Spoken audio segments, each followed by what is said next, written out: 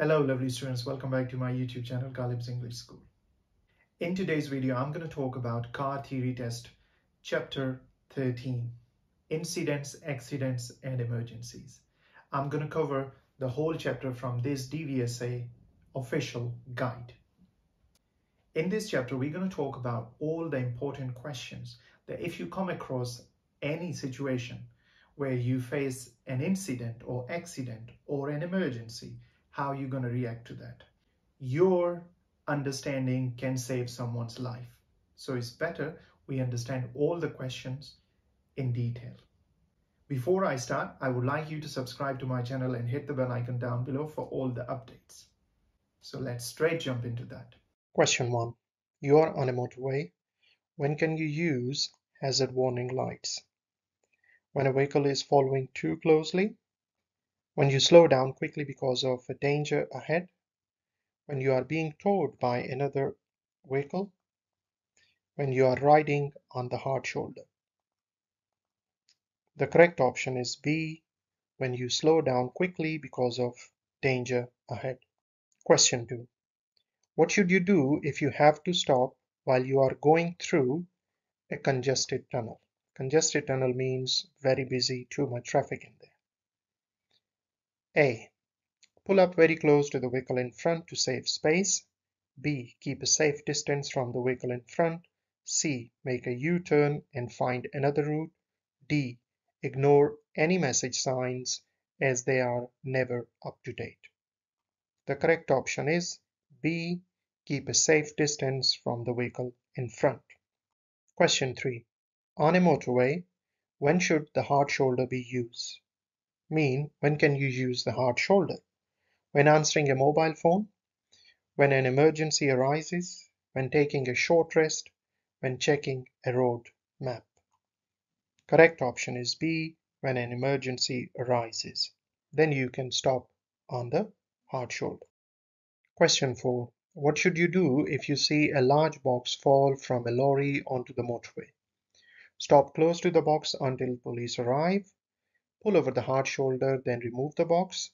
Go to the next emergency telephone and report the hazard. Catch up with the lorry and try to get the driver's attention. The correct option is C. Go to the next emergency telephone and report the hazard. Question 5. You are the first to arrive at the scene of a crash. What should you do? Drag all casualties away from the vehicles. Call the emergency services promptly, leave as soon as another motorist arrives, flag down other motorists to help you. The correct option is B. Call the emergency services promptly. Means without wasting any time, you should call 999. Question 6. At an incident, it's important to look after any casualties. What should you do with them when the area is safe? Move them away from the vehicles, give them something to eat, keep them where they are, ask them how it happened. The correct option is C, keep them where they are. Question 7. You arrive at the scene of a motorcycle crash. No other vehicle is involved. The rider is unconscious and lying in the middle of the road. What's the first thing you should do at the scene? Move the rider out of the road warn other traffic, clear the road of debris, give the rider reassurance. The correct option is B, warn other traffic. So how are you going to do that? You're going to be doing that by using your hazard warning lights. Question 8. What could you do to help injured people at an incident? So how can you help them? Keep them on the move by walking them around, give them a warm drink, Keep them warm and comfortable. Give them something to eat. The best practice is C. Keep them warm and comfortable. Question 9. You arrive at an incident. There is no danger from fire or further collision. Emergency service is being called. What's the first priority when attending to an unconscious motorcyclist? So everything has been done what should you do when you attend an unconscious motorcyclist? Check whether they are breathing normally, check whether they are bleeding, check whether they have any broken bones, check whether they have any bruising. The correct option is B, check whether they are breathing normally. Question 10. You are first person to arrive at an incident where people are badly injured.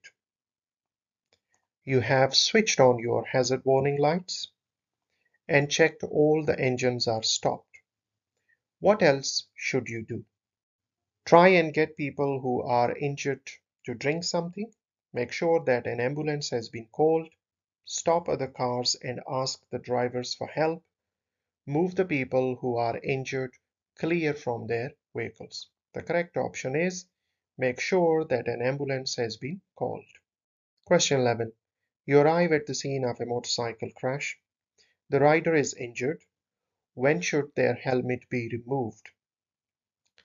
Only when the motorcyclist asks, always unless they are in shock, only when it's essential, always straight away. The correct option is C, only when it's essential. Question 12. After a collision, someone is unconscious in their vehicle. When should you call the emergency services? Only as a last resort, as soon as possible, after you have woken them up, after checking for broken bones. The correct option is B. As soon as possible, just call the emergency services. Question 13. Which document may the police ask you to produce after you've been involved in a collision? Your vehicle registration document, your driving license, your theory test certificate, your vehicle service record. The correct option is B your driving license. Question 14. At an incident, a casualty is unconscious but breathing. When should you move them? When an ambulance is on its way, when bystanders tell you to move them, when there is risk of further danger, when bystanders offer to help you. The correct option is when there is a risk of further danger. Question 15. You are at the scene of an incident. How could you help someone who is suffering from a shock? Give them a warm drink, offer them some food, reassure them confidently, offer them a cigarette. The correct option is C. Reassure them confidently. Question 16. At an incident, how could you help a casualty who has stopped breathing? keep their head tilted forwards as far as possible, follow the DRABC code, raise their legs to help with circulation, or try to give them something to eat. The correct option is follow the DRABC code. Now, what does DRABC stand for? D for danger, R for response, a for airways, B for breathing, and C for compression. So you need to follow this code. That is the best practice. Question 17. You arrive at the scene of a crash where someone is bleeding heavily from a wound in their arm. Nothing is embedded in the wound. What could you do to help? Walk them around and keep them talking. Dab the wound get them a drink, apply firm pressure over the wound. The correct option is D, apply firm pressure over the wound. And why do we do that? We do that to stop bleeding. Question 18. At an incident, someone is suffering from severe burns. How could you help them? Remove anything sticking to the burns, douse the burns with clean, cool water, Apply lotions to the injury. Burst any blisters. The correct option is douse the burn with clean, cool water. Question 19. What's the first thing you must do if you have a collision while you are driving a car? A. Stop only if someone waves at you. Call the emergency services. Stop at the scene of the incident. Call your insurance company. The correct option is C. Stop at the scene of the incident. Question 20. An adult casualty isn't breathing. To maintain circulation, CPR should be given. What is the correct depth to press down on their chest? The correct depth 1 to 2 centimeters, 5 to 6 centimeters, 10 to 15 centimeters, or 15 to 20 centimeters. Guys, the correct option is 5 to 6 centimeters. Question 21. A casualty isn't breathing normally and needs CPR. At what rate should you press down and release on the center of their chest? 10 times per minute, 120 times per minute, 60 times per minute, 240 times per minute. The correct option is 120 times per minute. Question 22. Following a collision, a person has been injured. What would be a warning sign for a shock? Flushed complexion, warm dry skin, slow pulse, rapid shallow breathing. The correct option is D, rapid shallow breathing. Question 23. At an incident, how could you help a small child who isn't breathing? A. Put them in recovery position and slap their back. B. Talk to them confidently until an ambulance arrives. C. Find their parents and explain what's happening. D. Open their airway and begin CPR. The correct option is D. Open their airway and begin CPR. Question 24. You are going through a long tunnel. What will warn you of congestion on an incident ahead? So how are you going to find out that there has been an accident ahead? Because it's a tunnel, we cannot see clearly. On the open stretch of the road, we can see like at a distance and we can identify that there has been an accident, we can control our car or we can slow down. But in a tunnel, we cannot see. There may be a bend in a tunnel. So, how are you going to find out? You're going to find out because of hazard warning lines. You're going to find out other drivers flashing their headlights at you, variable message signs, or areas with hatch marking. The correct option is C. Variable message signs. Question 25. You see a car on the hard shoulder of a motorway with a help pennant displayed. What does this mean? The driver is first aid trained. The driver is a foreign visitor. The driver is likely to be a disabled person. The driver is a rescue patrol officer. The correct option is C. The driver is likely to be a disabled person, so they may need help, so you need to stop and help them as a responsible citizen. Question 26. What should you do before driving into a tunnel? So before we drive into a tunnel, we have to do something. And what is that? Close your sunroof, switch on your windscreen wipers, switch off your radio, take off your sunglasses you need to take off your sunglasses because there is already dark inside the tunnel. You have sunglasses on, you cannot see clearly, so visibility will be reduced for you if you put on sunglasses. So make sure you take them off. Question 27. What should you do if your vehicle breaks down in a tunnel?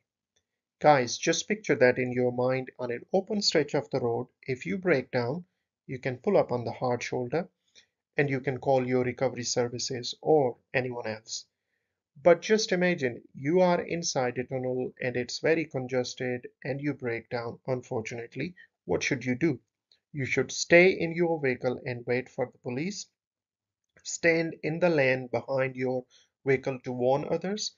Stand in front of your vehicle to warn oncoming drivers. Switch on hazard warning lights, then go and call for help. The best practice is switch on the hazard warning lights, then go and call for help. Question 28. Which light should you use when you are driving in a tunnel? side lights, front spotlights, dipped headlights, rear fog lights. Correct option is C, dipped headlights. Question 29. What should you do as you approach a long road tunnel? Change down to a lower gear. Make sure your radio is tuned to the frequency shown. Put on your sunglasses to use the sun visor. Turn your headlights on to main beam. Correct option is B. Make sure your radio is tuned to the frequency shown. Question 30. What should you carry for use in the event of a collision? Jump leads, road map, can of petrol, or fire extinguisher. The correct option is you should have fire extinguisher with you. Question 31. You're driving on a motorway. When can you use hazard warning lights? When a vehicle is following too closely, when you slow down quickly because of danger ahead, when you are towing another vehicle, when you are driving on the hard shoulder. The correct option is B, when you slow down quickly because of danger ahead. Question 32. You have broken down on two-way road. You have a warning triangle at least how far from your vehicle should you place the warning triangle? 5 meters, 25 meters, 45 meters, 100 meters. The correct option is you should place the warning triangle at 45 meters. Question 33. What should you do if your vehicle has a puncture on a motorway? A. Drive slowly to the next service area to get assistance. B. Pull up on the hard shoulder or in an emergency refuge area. Change the wheel as quickly as possible. C. Pull up on the hard shoulder or in an emergency refuge area and call for assistance. D. Switch on your hazard warning lights. Stop in your lane. The correct option is B pull up on the hard shoulder or in an emergency refuge area and call for assistance. Question 34. You're driving on the motorway. What should you do if luggage falls from your vehicle? Walk back up to the motorway to pick it up. Pull up on the hard shoulder and wave traffic down. Stop at the next emergency telephone and report the incident. Stop on the motorway and switch on hazard warning lights while you pick it up. The correct option is stop at the next emergency telephone and report the incident. Question 35. What should you do if your vehicle catches fire while you are driving through a tunnel? Guys, imagine you are in a tunnel and your car catches fire. That's more dangerous than on an open stretch of the road because on an open stretch of the road we can see and we can run away from it. But in a tunnel when it's too congested and your car catches fire people are at risk. So what you need to do leave it where it is with the engine running pull up then walk to an emergency telephone park it away from the carriageway drive it out of the tunnel if it's safe to do so. The correct option is drive it out of the tunnel if it's safe to do so. Question 36. What should you do to reduce the risk of your vehicle catching fire? So how can we reduce the risk of our vehicle catching fire? Keep water level above maximum. Check out any strong smell of fuel. Avoid driving with a full tank of fuel. Use fuel additives. The correct option is B. Check out any strong smell of fuel. Question 37. What should you do if a tire bursts while you are driving?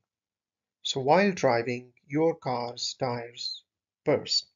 What should you do? Or what's the best practice? Pull on the parking brake. Brake as quickly as possible. Pull up slowly at the side of the road. Continue on at a normal speed. The best practice is pull up slowly at the side of the road. Question 38. Your vehicle has stalled in the middle of a level crossing. What should you do if the warning bell starts to ring while you are trying to restart the engine? Get everyone out of the car and clear of the crossing. Run down to track to warn the signal operator. Carry on trying to restart the engine. Push the vehicle clear of the crossing. The best practice is get everyone out of the car and clear of the crossing. So your option A, which is the most appropriate one, that is your correct option. Question 39. What information should you share if you are involved in a collision that causes damage to another vehicle? In simple words, you had an accident with someone. What should you do? What information you going to exchange? Your occupation and reason for your injury, your name, address, and vehicle registration number, your national insurance number, your internet service provider. The correct option is B.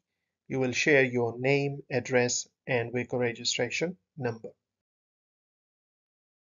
Question 40. You lose control of your car and damage a garden wall. What must you do if the property owner isn't available? Report the incident to your insurance company when you get home. Find someone in the area to tell them about it immediately. Report the incident to police within 24 hours. Go back to the house owner the next day. The correct option is you should report the incident to police within 24 hours. Option C, that's the correct one. So guys, this was Car Theory Test Chapter 13, Incidents, Accident and Emergencies. If you have any questions, please drop them in the comment section below and I'll get back to you. Look after yourself and this channel. Thanks for watching.